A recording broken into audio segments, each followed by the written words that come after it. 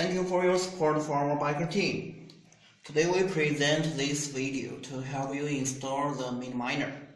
Here are the things we need for testing today. Electric skills, a power consumption tester, a noise tester. If you purchase a mini miner, you will receive a parcel like this. Okay, let's unbox it.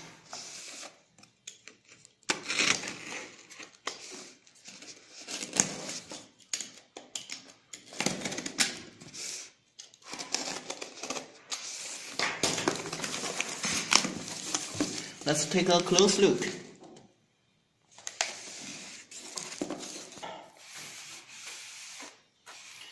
So we can see two pieces of EP protectors.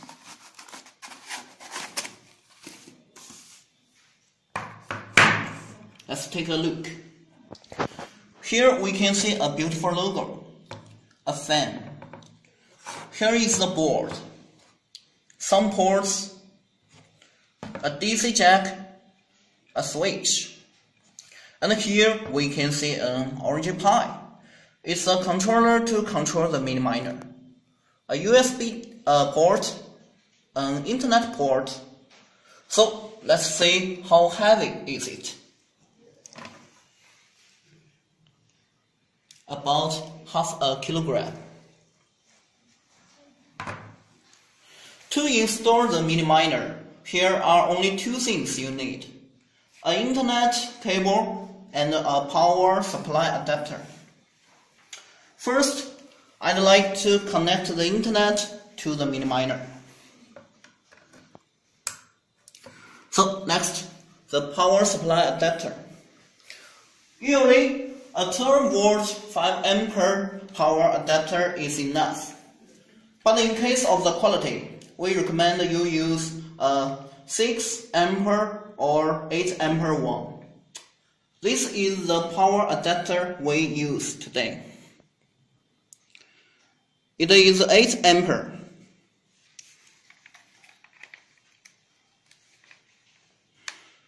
The plug's uh, outer diameter is 5.5 uh, millimeter and the inner diameter is 2.5 millimeter.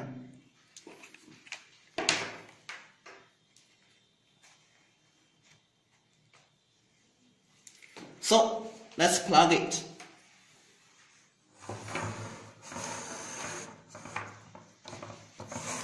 Before you do this, make sure the switch is off.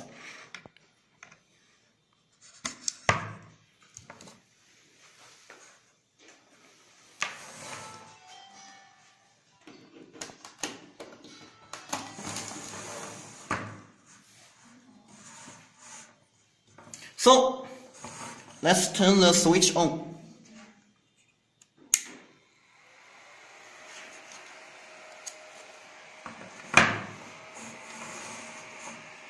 Here we can see three lights.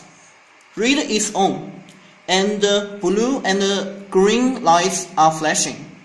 It means it's seeking for the IP address. Usually it will stop flashing after one minute. But if it keeps flashing all the time, you may have to check the internet connection or the power supply. So we can see it's working normally now. Let's see the power consumption. About 40 watts. And the next, the noise.